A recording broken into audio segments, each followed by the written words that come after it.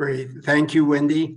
Um, it's a pleasure to be here, a pleasure to have two great panelists and to talk about a topic that's very important. Let me just say a few words about Guidehouse. Um, we're a large global consulting firm that provides advisory digital managed services to both the commercial and public sectors. There are about 16 and a half thousand employees at Guidehouse. Um, as mentioned, we serve both the government, uh, health systems, um, payers as well. We uh, were recently named the uh, ranked the second largest healthcare consulting firm in the US. Um, and in addition to that, we have our large government practice as mentioned. A number of KLAS number one rankings are shown on this slide as well. So a large multidisciplinary uh, consulting firm with a major footprint in healthcare, and we're absolutely delighted to be part of this series. So let me move on from that and just introduce our two panelists today that we're very fortunate to have. Um, the first one is Ted Day, who's Executive Vice President for Strategic Planning and Business Development at University Health in San Antonio. He's worked there for the past 10 years uh, Ted is a 25 year veteran of the healthcare industry. He's served in diverse leadership roles across the industry, including in large health systems, multi specialty physician practices, and payer organizations. At University Health, he's responsible for a range of organizational functions, including helping to set and execute the strategic direction of the organization in concert with the leadership team. It's a very strong leadership team there as well. Uh, he oversees such key system growth uh, and partnership functions as business and affiliation development, regional outreach development, strategic reporting, electronic clinical connectivity to the private practice community, and physician and joint venture contracting. And our other panelist is Dr. Art Saavedra, who is presently the Dean and Executive Vice President for Medical Affairs uh, at the uh, VCU, Virginia Commonwealth University uh, School of Medicine and Health System. After he graduated uh, from Harvard College with a degree in biologic sciences, and then uh, went to University of Pennsylvania where he received both an MD and a PhD degree with specialized training in pharmacology. He then went back to Boston, where he was resident and chief resident in internal medicine at the Brigham and Women's Hospital, and then moved on and did another residency, uh, the Harvard's Combined Dermatology Residency Program. Uh, he then joined the faculty at uh, Harvard and uh, was serving as vice chair for clinical affairs and medical director in the Department of Dermatology at Massachusetts General Hospital. He was then recruited to the University of Virginia School of Medicine as the professor and chair in dermatology. And while he was at UVA, served as the president and interim CEO of their faculty practice plan, their University Physicians Group. And then, as mentioned, he's recently moved to VCU, where he's Dean of the School of Medicine and Executive Vice President for Medical Affairs for the health system. So, with that introduction, these wonderful panelists, we'll move on to a set of questions uh, that the two panelists will discuss, and then there'll be time at the end for question and answer with all of you. And I know that the group that's on the line is not shy at all and uh, there'll be adequate time for back and forth with our panelists and with each other as well. So if we can move to the first question um, here, which is looking at today's post-pandemic world, what has changed regarding your uh, clinical, operational, financial strategies, and what you see across the landscape for essential hospitals as well as you talk to your colleagues and other health systems, both those who belong to uh, AEH, essential hospitals, but those uh, in other settings as well, because I believe there's a commonality of issues here. So we'll start with you, Ted. Uh, great. Good afternoon. Thanks, um, Ed, and um, pleasure to visit with you all. I'm going to add one quick uh, anecdote or takeaway at the beginning and then make some comments here. So we um, at University Health have a change campaign, which is an outward-facing campaign for consumers, and it's challenging consumers on how they should introduce positive change in their lives.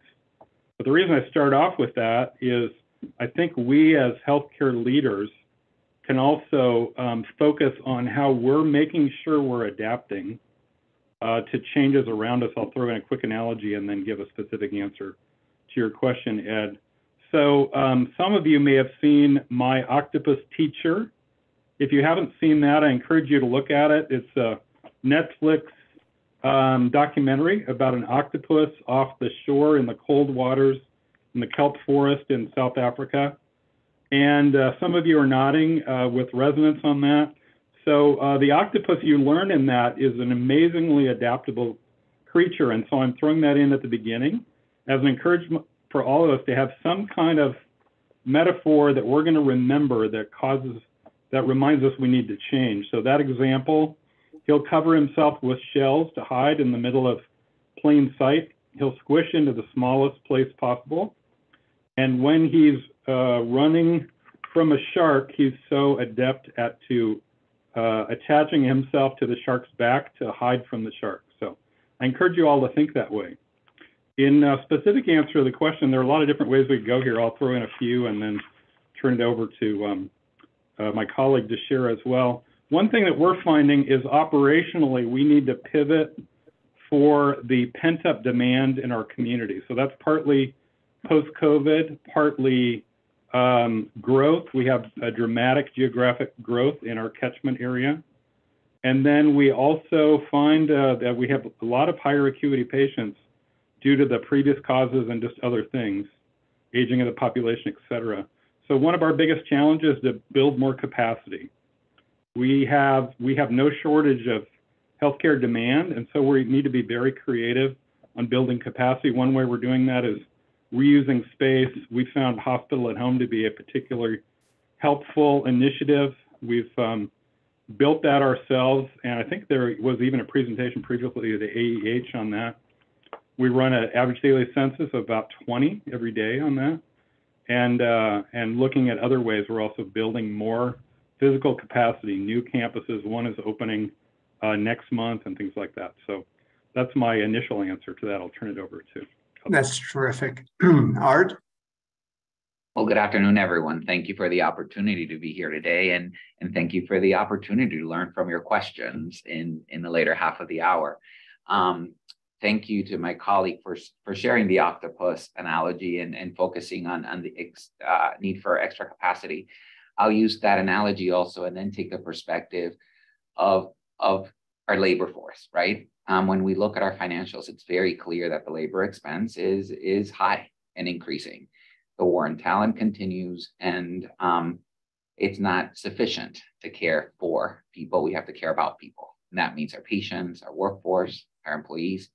And you see the octopus only has eight tentacles and it's trying to hold 10 balls up in the air. And so we've had to really be very thoughtful and strategic about number one, how do we really create an, um, uh, an environment and bring in people to those environments that are just so dedicated to mission so that there are no surprises about what essential hospitals do. And then beyond that, understanding as well what keeps them here and how we engage them after the pandemic, we've noticed an incredible interest in, in shared decision making, in governance, in thinking about strategy, and thinking about vision, but always phrasing um, our, our mission as the upfront answer to just about any questions. For example, we start every meeting in the physicians group rereading our mission statement. When complicated questions come up, we rephrase, are we answering this question from that content? Because we know that post pandemic, people have made decisions very differently than they have before. Some people have decided to become one income families, others have decided to work part time, otherwise, other people have chosen different environments. So, again, how do we use that octopus analogy to teach us how do we balance the portfolio that people are handling? How do we keep people here rather than continuously, you know, um, cycle? But also how to learn from our own workforce about are we meeting our mission and how we should um, move forward. Part of that answer has been technology, but it hasn't been the entire answer. I think people want FaceTime with the patient, and to the extent that technology can do things that people shouldn't, we, we found that to be the case, but not at the exclusion of more time or FaceTime with the patient. We've learned that um, we have to be very mindful with um, no single point of failure. So looking at all our suppliers, we have at least two, right, of each of, of them. Um, and then with that, every financial engagement that we take really looks at a, a second option and a risk mitigating uh, step to that regard. Um, but thank you for the question. So just a little follow on to this. Um, for both of you, in terms of your workforce, we've heard about emerging technology, the importance of the workforce, the desire of healthcare providers, not just physicians and not just nurses, but across the spectrum to have that face time to take care of patients. But we hear a lot of concern about the financial aspects of personnel. It's a huge cost for health systems. So, how are you both addressing that? And uh, you're uh, asking all the you're asking all the easy questions. Uh, well, I thought I'd start. I start really easy, and then we're going to get harder, right? Yeah, right, right. No problem. No, uh, workforce is probably the beginning and end of conversation in many conversations these days. So there are uh, a lot of different elements. You mentioned the financial piece. That's a challenge. We have to figure out how to create savings elsewhere in order to keep the workforce in place, and also the supply costs, as was as Art mentioned a little bit ago. Um, so we have the the twin challenges of that. But I would expand it a little bit beyond that. So we're basically budgeting. Simple answer is we're budgeting for that and knowing that that expense is increasing but also um, retention. Stating the obvious, retention is much cheaper than uh, recruiting and training a new workforce. Just had a conversation about a key physician uh, who's changing positions and lamenting uh, what the retraining element is for that, for leadership in there or on the administration side as well. We've had an interesting dialogue recently here at University Health about um, understanding generational differences and um, how we need to modify our thinking as Gen Z becomes a greater and greater percentage of the workforce. Got an interesting speaker, Jason Dorsey. I encourage people to uh, look up his YouTubes and maybe even engage him to come speak to your management and your physician leadership on understanding the different uh, the different expectations of our younger workers and how we can relate to each other among the three or four generations we have serving five generations of patients. So a lot of, lot of layers to that question. Great, thank you. Art? Yes, I would say that, um, yes, this is one of the items that takes most of our strategic time, but I think it's also an incredible opportunity for innovation, right? I think at the early first step, you think about scopes of practice and purifying, right? Um, making sure that people work at top of license, and that's probably not a secret or an incredible insight. But what is, is the following. I think if we look at all the things that we have to do every day in healthcare to meet our patients' needs, we often think about how we staff those needs with workforce rather than how we involve the patient in some of those tasks. For instance, it's probably time to think about medical reconciliation. Is that best done at the clinic visit or can it be done at home when you're at your medicine cabinet? So how do we engage the patient in functions that we know are timely, expensive, and maybe not the favorite of our workforce, but could be done in higher fidelity areas? Another example is um, we can really learn um, from other countries around um, community engagement and function. Sometimes our higher utilizing patients don't necessarily need complexity of care, even though we call it that. They need com- they need help navigating a complex system. We, in a different institution, uh, created a, um, a, protocol where we hired folk that we called patient um, advocates. And really, what they did was to remind patients of their appointments, to help find transportation if that was an issue, um, to help with communication, with filling out financial forms. And, and we learned that if the nurse or the patient or the front the staff of the hospital didn't have to do that. We had greater patient satisfaction and greater provider satisfaction. So then how do we use this tough area of expense to be innovative and to challenge our workforce? Workflow is, is really the exercise, in my opinion. Great. If we can go on to the next question, we'll hit another one uh, that's, you know, very easy, Ted.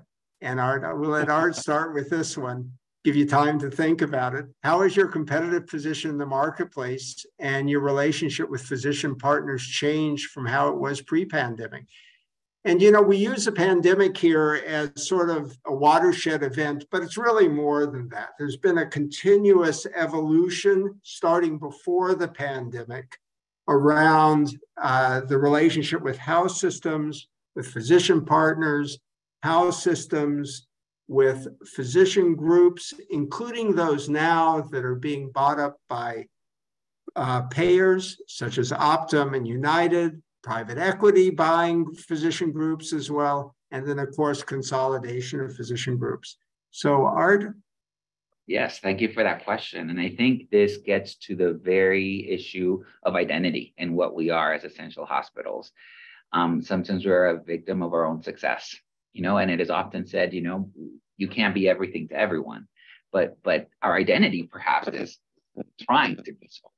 And it's really um, in this period that we've been challenged to think about co-opetition, really, with other areas in the community, whether it be other health centers, whether it be community centers, um, frankly, where it be PE-based, you know, uh, specialist firms, and how we really think about um, synergisms that bring us up all in the same direction. I think physicians like engaging in that conversation, particularly those that often find the need to diversify their activities, their method of employment, um, and and to the point that my colleague has raised. You know, the New England Journal of Medicine has told us the cost of having to replace a physician rather than retain that physician, and it has several zeros around it. So, so that competitive landscape maybe is to our advantage to provide a diversified experience for our workforce and in turn retain them. I do think, however, we are also finding the greatest um, uh, tension to be the strategy in primary care versus subspecialist post pandemic. And they are not exactly the same in terms of at least the local competition in Virginia. Um, and so we're, we're finding that we have to be really thoughtful about how we think of those as almost two service lines in spite of thematic um, influence, but more in the way that we grow them, in the way that we interact in the market, and frankly, how we recruit and particularly retain those physicians. We've learned that um, particularly primary care really wants to be engaged in value-based strategy and care redesign, very much so, and not involving them, I think, is a mistake. On the other hand, specialists really want to learn how to be part of the capital budgeting process? How do we have access to the important technologies that will drive front end care and not make us feel that we're providing substandard care in an essential hospital?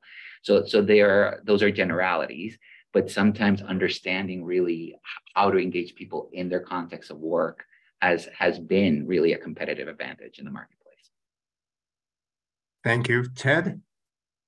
Uh, thank you. Those are great um, comments, Art, and I'll make uh, some different ones to complement what you've talked about. You know, interestingly, um, our organization has seen a change in how the community views us, and I'll not make it all about us, but I'll just use it for illustration. So if you have, if you respond well to a crisis like the pandemic, then you have people pay attention to you who heretofore might not have done so as much. So uh, we had a very robust response, leveraged Epic to do that so prove the power of Epic and uh, also the power of organization. We did like 600,000 uh, vaccines given during that window of time.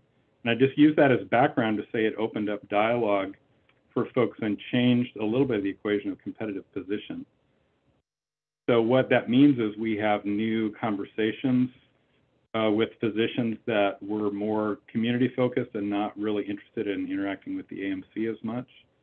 But as you grow in that uh, sense and you become more outwardly focused and less of a self-contained system, like many um, safety net systems are, then you can uh, really involve yourself in the community decision making. I appreciate Art's comments about the desire to be at the table on forming that. We're seeing that as well, as well as even giving input on when you build out new facilities, what that might look like and what services are needed in what areas. So having a posture of asking a lot of open-ended questions to a physician community that you've not had such dialogue before is really a, a winning strategy. Uh, and then I think there's a question coming up later on the survival of physician groups and facilities. So that's a dynamic locally, and it probably is in a lot of our markets. Uh, so that's, a, I guess, a teaser, teaser of an answer to a future question. it's always good to know what's coming. Um, just a quick follow up. Both of you uh, have destination programs. You also have your own employed physicians, and then clearly you have referring physicians too. Can you talk a little bit about the balance there? Um, there are clearly other house systems that are trying to get those referred patients as well. And there's a difference in the relationship between your own physicians, your own uh, practice plan, and, and those that are circulating around you. So maybe Ted first. Uh, yeah, that's a great follow-up question, and I think the answer is it uh, is variable over time. It's interesting to see um, the choices that physicians are making to the point you made when you framed this question in the beginning, Ed, of uh, if I'm an independent physician or part of a group, am I going to continue in that vein? Am I going to join a, a, health system? More than 50% of physicians are employed by health systems, and a growing percentage are employed by Optum or even a venture capital group. So if you're going to align yourself, what are you going to do? But um, can you um, retain your autonomy? So that's the dialogue. That's my answer to your question. Is Great, how much thanks. autonomy do you get? It, it, goes to Art's question or point about um, your identity as a physician. So a lot of conversations along those, and people are willing to consider different models or even a lease arrangement or things like that. Very dynamic time in that space. Art? Yes, I just add also that um, just like with any other portfolio, having um, you know different group settings for practice and different employment models is actually a plus. For example, there are definitely classes of physicians that are more willing to innovate and, and be part of new technologies, others that are more comfortable with high complexity care at lower volumes, others that are high volume, and so on and so forth. Some that are more likely to bring in telemedicine into the mix as well. And so sometimes adjusting the, the setting in which this practice is as important as the employment model, because it is those metrics again that that indicate to the doctor that they are in fact still having some level of independence and operational control. I will add that operational control over their practice. Yeah. So it's it's not for them actually having input, right? And not just being a cog, but actually having their voice heard as well. If we can go on to the next question, which is what other trends and approaches would you suggest that leaders explore when developing their organization's financial stability plan? I guess, Ted, we can start with you here. Okay, sure. Um, this is a big question.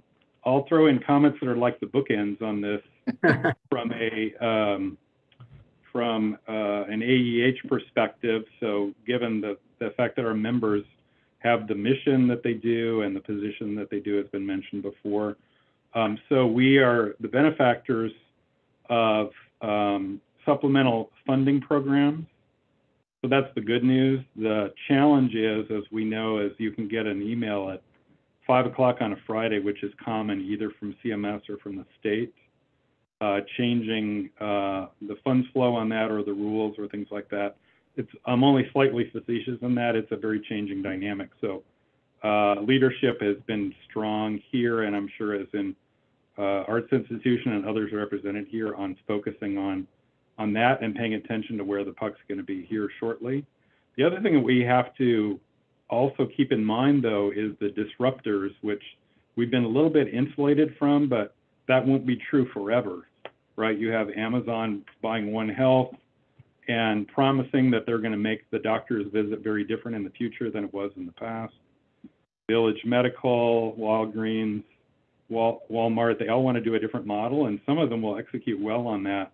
So that's going to take some of our, uh, increase the competition on some of our outpatient activity. Um, so I'll pause, I'll pause with that or stop with that. Great. Art?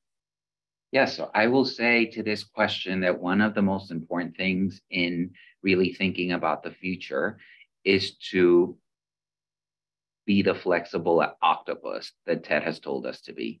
So before something hits you, um, piloting things, right? So that you know what may work, what doesn't work, what will need uh, improvement, right? And whether that's at the level of care models or corporate practice, I think it's equally important to model. I'll give you an example.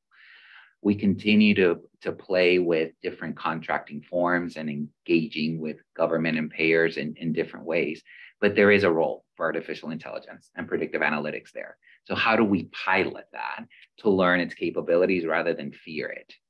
The second is um, to the to the goal of financial stability. I do think that operational improvements are, are a mindset, not just a business competency. So just when you think something's perfectly operationalized, there's always room. So we continue to look at our revenue cycle over and over and over, and we continue to find ways of aligning it, realigning it, or simply just doing it differently. And I would say third, um, what we have found is that there is an incredible need for discipline in financial stability. It is often easier to, to get excited about doing something new and adding on and perfecting. And it's an entirely different exercise to stand down things that are not working, cleaning up technologies that are not being used, but still require maintenance, time, and cost. So I do think it's looking at both sides of the equation the exciting end of adding and the disciplined end of saying no or this is not working that that we continue to fine tune in our financial strategy.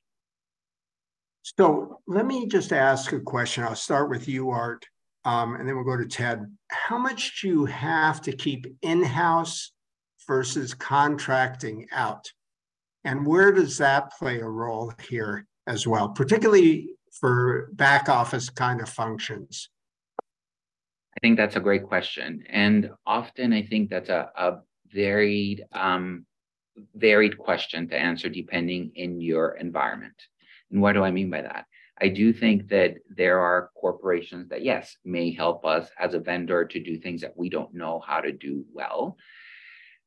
But we still need to learn a lot about it to make sure that the partnership is is good. So so what I caution isn't whether you use vendors or not, but whether you have the internal capabilities to to learn and to audit and to continue to influence that as it relates to the greater whole. I, I have seen, for example, um, two. I've lived in two different institutions. One that has almost entirely removed the revenue cycle out to vendor, and another one that consolidated in, in, in an effort to keep those fees internally.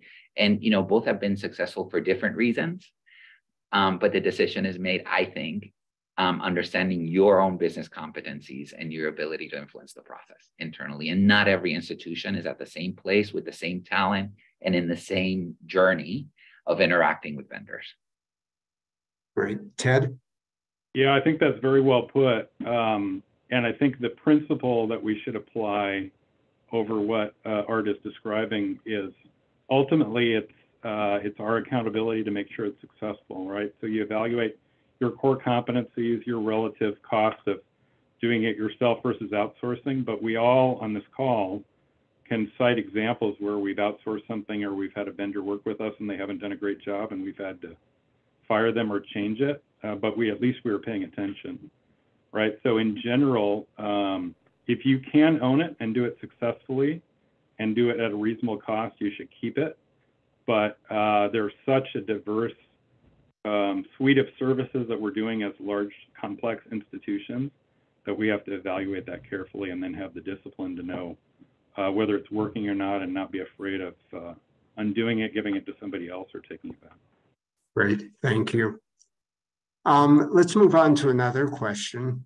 We'll start with you for this one, Art. Um, have fiscal pressures at other hospitals and health systems in your community created more pressure and impacted your organization's service availability? So this is shifting of service lines, shifting of patients, um, shifting of patients with various insurance or lack thereof to you uh, between the hospitals. So one aspect of this is, of course, the clinical services you provide. The other is the patient population you serve. So Art? This is my favorite question because it gets to the point again of co-opetition and how do you exist in the marketplace um, while being a good neighbor um, and while, you know, quite frankly, thriving as well. And one of the changes we have noticed is that a lot of our uh, surrounding partners slash competitors um, are um, more able to open and close services given their corporate structure. And so when things are not working well and a service is closed, we immediately have to stand present to, to, to take care of the population that otherwise doesn't have that service. So we live in a constant state of really readjusting to what others are doing, to the potential of COP, you know, and applications, to who's building what, um, and to sort of predict at what expense are they building that? What's what's coming down? Because that's what you know what we're going to have to um, take care of. So I think that's one issue, really um, being very aware of the market all the time so that we can respond to, to the patient's benefit. I think the other um, pressures that are very, very significant in, in our marketplace relate to what patients really want from us, and it changes from time to time. I think that as an academic institution, we've been used to hearing a lot about our subspecialty services and how to accommodate that when it's not available. But boy, are we hearing a lot about primary care as well, right? Probably even more than we ever have. And so, how do we really adjust to that pressure by creating new partnerships with, with partners that maybe we didn't think of before? Like my colleague has mentioned, right? The Walgreens of the world, Patient First, and others. Um, and the details are what make it difficult, right? The value proposition is not so complicated. How do you exchange information, right? Whether that's laboratory medications, when you engage with a partner like that, number one. How do you provide an experience that is actually seamless for the patient and you don't confuse them or contradict them in care? And finally, how do you really think about what, a, what is a strategic partnership? Is it just access? Maybe. Is it quality? Again, is it information technology? So it really makes you evaluate the environment first, but try, try to predict it before it's changing. Great, thank you. Ted? I'm gonna, uh, appreciate all those comments. I'm gonna go to the question that wasn't asked before this, and that's how you serve your community and then deal with the changes in the community that create the pressures that are built into this question.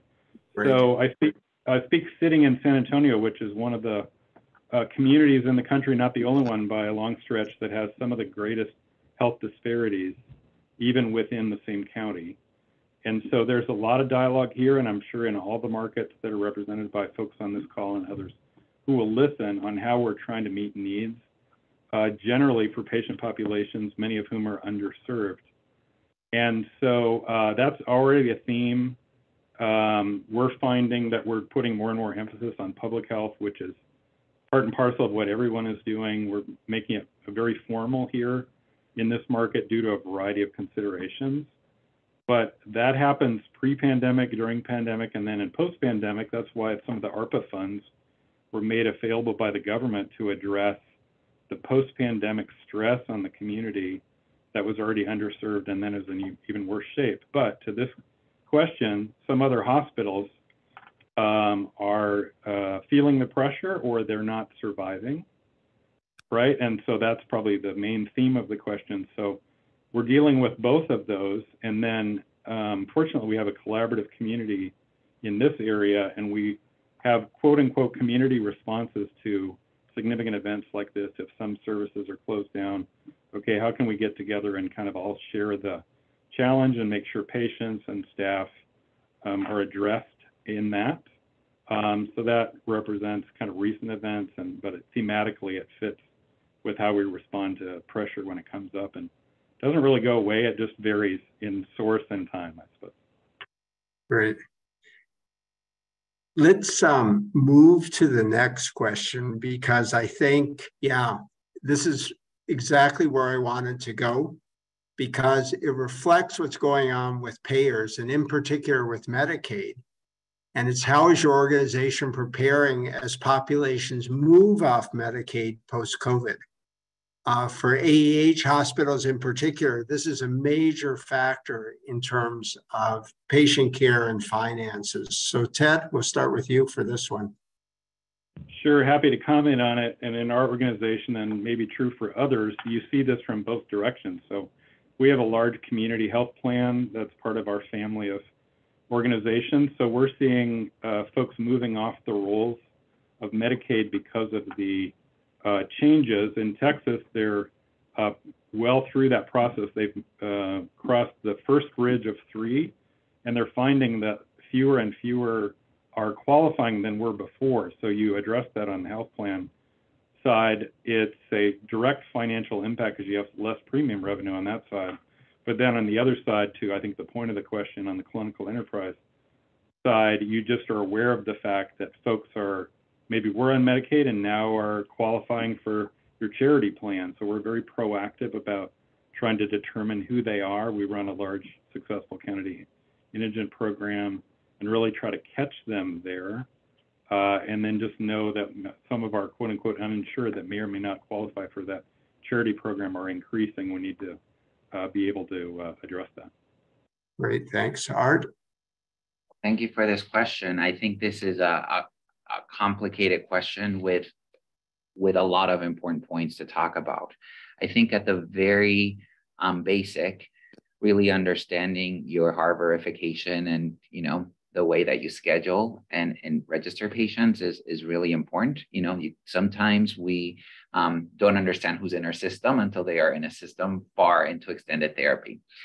I think it forces us to really be thoughtful about our high utilizers and how we stabilize that that group. It's more important than ever now to keep people healthy and away from the hospital. And that means, again, not just looking at home care and telemedicine, but really being very, very thoughtful about your ER strategy, particularly in the emergency room. Um, because you know you want to make sure you stabilize how how people present to the emergency room. External factors like how you grow, and that growth requires capital is, is important, not just to diversify the entry there, but to also understand the processes that operationalize keeping people healthy in various different communities. And lastly, I will say probably something a little bit untraditional, but communities are more engaged than ever in understanding these issues. And there is a role for, for communal philanthropy um, in, in helping us organize around those who aren't as fortunate. Um, uh, and so really engaging not just the community and our grateful patients, but but those who are successful, right, in other ways in the area and are very invested in the care of communities is really paramount. It's almost impossible to do with that kind of feedback and frankly, financial resource. I wonder, in both of your situations, what is the role of managed Medicaid? And how are you addressing that? Is that a major factor for you? Uh, it is for us. So the example I cited is we are an example of a managed Medicaid plan. Uh, Texas has taken the philosophy to push as many Medicaid uh, beneficiaries to uh, managed plans as possible because they they can shift the risk onto those folks and they've done it successfully. So it's mostly that in that space. Yeah. It is important for us, a little less so given how Virginia funds its Medicaid and the contracts around what we call type 1 Medicaid contracts. Um, but we're, we're noting a very significant shift into um, more managed Medicaid plans as well, but probably a little less so than, than Texas. Okay, great. Um, I want to open it up for Q&A. I think we have, do we have one more question first? Ah, uh, I think you addressed this, but let's just give both of you a chance to comment on it. Are you experiencing greater competition now from health systems and other providers that aim to serve your traditional Medicaid patient populations? Ted?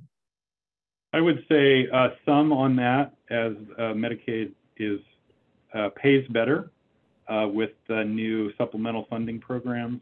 The other thing I'll throw in though, and I clearly we all know the difference between Medicaid and Medicare. I yeah. would say there's deep competition on the Medicare side, especially with a large uh, increasing penetration of managed Medicare. So that's the bigger issue we're focusing on. Yeah, Art, I'll, I want to come back to the MA issue too, just very quickly. But before we do, just a response to this one, Art. Absolutely. The answer to this is yes. We have found um, in Virginia again, because of Type 1 Medicaid and other state-funded plans, that um, that the market is consolidating you know, and, and people are merging um, in, in the mission to, to serve the population, not just in terms of, of volume and scale, but also in terms of geographic variability. So very stiff competition at this level. Great. And before we go to Q&A, just uh, starting with you, Ted, about the MA Medicare Advantage programs and how that's playing out for you and in your market. Yeah, so this is an example of how um, payers uh, they own the full cycle of revenue, right? They have the premium revenue at the top. They can afford to pay uh, physicians who work in that model uh, better, and we're finding significant impacts both in terms of attracting people into related ACOs of the seniors. We have a more highly penetrated market on the managed side in this part of the country than is typical and that success breeds more success. So now it's spilling over into commercial and others. Very attractive model and hard to compete against, including retaining our doctors and keeping them from jumping into that model and being paid well to be a primary care physician managing a geriatric population. Right. Yeah. Art? I would I would echo uh, what Ted has said and maybe even magnify it to say that the four largest healthcare systems in Virginia, particularly those with physician groups, have this as probably number one or number two in their contracting strategy um, for at least the next five years. Great. If we can move to the Q&A, question answer, if you just raise your hand, if you have a question, uh, rather than write it into the chat, it'd be great if we can hear you and see you. So any questions? other topics that we should be talking about?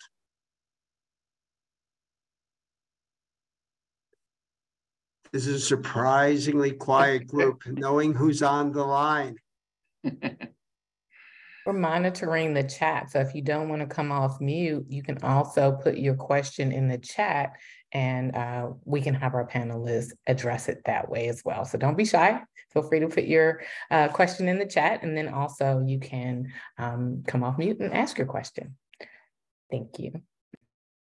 Well, Ed, if there isn't a question, maybe I'll ask one of my colleague uh, to learn from him. Um, what would you say are the different strategies that you found to be successful in recruiting a doctor that has had a 20 year career and is um, looking to make a change versus one that's just right out of training? Um, what questions are they asking? Are they different? And how are you meeting that uh, that generational divide, as as you spoke about earlier? uh, can I have an easier question? it gets harder yeah, no, and harder a, and harder, right, Ted? Yeah, that's a that's a great one because you know folks like that who have been in control for 20 years. I guess it's a function of uh, those individuals. Are they so done with the administrivia of delivering healthcare that they're ready to turn over the keys to somebody else, as long as they have comfort that their opinion will be listened to? And when they made their transition, did they make some kind of money they wanted to? Probably not as much as they'd hoped when they leave their practice or sell their practice and come into an employed kind of thing. If they're already in an employment arrangement, it's it's more a function of uh, what's the compensation, the upside, and whether they want to be highly productive or highly engaged in the community, things like that. So those are all themes, but it's a great question because it's very real world. It's very real world. Cal, Kalpana? Hello, everyone. Thank you for a fantastic session. Um, you have been getting quite a bit of easy questions, so here's another one. is um, our members, essential hospitals, um, have continuously had financial uh, tightness, so to speak. Uh, and uh, is there a role for funding from venture capitals on the innovation side? Are there innovations that venture capitals can fund our hospitals that could help us um, reduce cost, better quality, um, especially so much happening on the AI side? Do you see an opportunity for us? Uh, that's a wonderful question. Who wants to take it first? Yeah, I think Art should take that one. Okay. I'm happy to take There, that's a Throw it over there, Ted. I'm happy to take it and I'll, I'll answer it in the way that I answered the prior question about using vendors. I think it's a very similar issue. Um, really knowing your institution, your talent, where you are in that journey, it is, is important. I think sometimes the, the time, the error and the frustration of building is, is best avoided. And I think that, that there are um, funding abilities around um, processes that help you grow certain parts of the market. For example, we know that there are companies now in the space of, of ranking programs, but also creating scheduling programs for those doctors that are highly ranked, right? So now you have an interface where the where the patient is engaging as a customer, figuring out reputation, and an interface that then schedules directly to you, right? So so you can't miss out on that boat, right? Particularly if you're trying to build a destination program, as you were saying before. It's it's unlikely that we would ever build a platform like that internally, Germany, or because we thought about it. But those will be necessary. So my answer is yes. Um, I think there is a role. One has to be very uh, careful about where your internal competencies are. And as my partner said, be ready to say, this worked, let's prefer, perfect it, or it didn't, nice try, next. Yeah, Ted? that's a great comment. I would I would uh, just add the theme, which uh, which comes up in lots of conversations these days, of predictive analytics, what interventions we can do today to prevent uh, worse outcome tomorrow. There's a lot of different models happening with that, not always just VC based, but some of our some of our colleagues in different AEH hospitals have some interesting development, creative development along those lines. And we have such a uh, demand for service that is high intensity, that if we can focus on the best patients, both uh, managing high utilizers as well as folks that are maybe uh, subject to readmission is a really key theme. And some of the those entities are really driving that a lot. So Kalpana, I don't mean to put you on the spot, but what are your thoughts too? Um, I know very little, so I don't know if I should be the one sharing any thoughts or um, comments. But I just feel like there's opportunity that we shouldn't miss out. And what you said about let's try it. If doesn't work, move on. Um, is the if we can have that uh, th- that environment to try to move on um, that would be a better option. But as you said, knowing who you're partnering with in the venture capital is probably a bigger question uh, and where that would lead. Um, I just feel like every industry is trying something about AI or predictive analytics.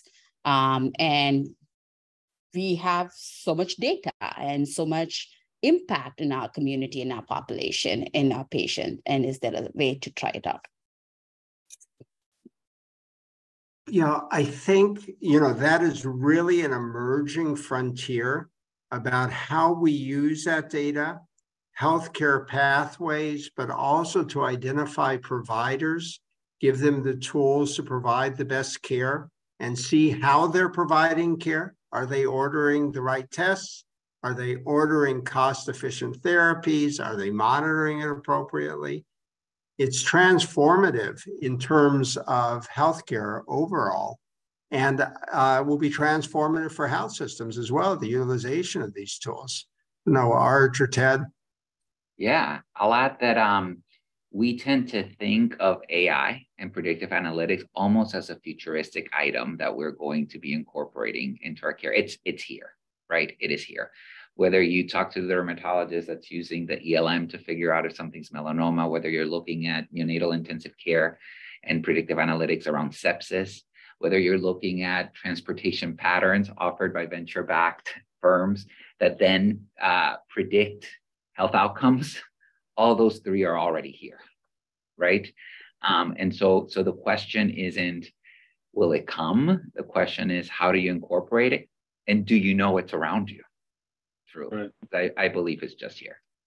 Yeah, that's a great point. You know, even even at the level of being able to easily grab different physicians' uh, diction and things like that when they're um, dictating into the medical record, and recognizing voices very quickly and things like that uh, really helps if that's part of the model of any particular health system with that. So that's been around here for a few years now, and it's really driven by that same methodology. So I, I agree, it's really here, and it's going to change next week and the week after and the week after. It's changing so fast. Yeah, and I think there are multiple implications for this. we have voice recognition software now. Um, this is outside of medicine, but the insurance companies are now using it. when somebody calls in to connect you with an agent who you're going to have an emotional, psychological connection with. It's going to have a similar background, and it's because they think and know that they'll be able to sell more insurance. Here's a chance for us, for example, to make sure a patient gets together with a physician that's best that they're best going to identify with and then have the chance to follow therapy, be more compliant as well. So, this matching based on AI, voice recognition is just one example of what's coming forward. But that's again one of these transformative technologies. Yes, Ed, and if I may add, I think sometimes in healthcare we tend to concentrate on a very anchored view of who we think our entire set is our community, our state, our nation, but we're beginning to, to really note the international presence in, in local management and whether that is recruitment of foreign medical graduates, right? Or whether that's using technology to access workforce. For example, the concept of the virtual scribe and the labor costs associated with that are very different if you employ a national hiring strategy versus an international strategy, you know, strategy. So really continuing to step back and not anchoring your view around what's possible, available, or your real market will continue to be a, a business competency in essential hospital care. Any other questions? I know we're getting near the end of our time. So if not, I, would like Art and Ted, just if you have any final comments, anything we've touched on a lot of topics very important topics very easy topics ted we put the bar very very low for this but you know these have been major issues uh, for ah hospitals and other health systems as well. But just final comments uh, maybe art first and then ted? You know i'll close with my first comment. I think uh, people who thrive in essential hospitals are mission driven people. So communicate mission, lead with mission, answer your questions with mission, and then think about everything else that comes after that in the context of that mission so that you really engage and retain the people that frankly take care of our patients. Great. Thank you. Ted? Very well put. And I won't be redundant with mission, although I completely agree with that. The other um, thing I'll add to that that is complementary is we have the opportunity to be the public health, public hospital, uh, you know, raise that beacon and show how things can be done for the benefit of the community that's built into mission. And we can do it in a way that's uh, innovative, right? So we should have AEH and innovation uh, spoken in the same breath, right? That's the way we can best represent ourselves to the communities around. That's terrific. Thank you both very much. I'll turn it over to you, Wendy. All right. Thank you so much. We really appreciate you joining us today and want to uh, let you know that you should fill out the evaluation. It helps us to create additional programming and to incorporate your thoughts and concerns and content that you're interested in uh, going forward. So we welcome you back on August the 2nd, I'm sorry, August 7th for the second session, Advancing Beyond Acute Care Strategy to Solve Operational Challenges. And that's going to be, as I mentioned, August 7th from 2 to 3 p.m. So we look forward to seeing you there for the second part of the series. There's still opportunities if you want to refer this program to colleagues and uh, other executives that you think would be interested. So please do uh, share the information about the Essential Learning Series. And we thank you so much for taking your time to attend and um, talk with us today. Thank you. Thank you.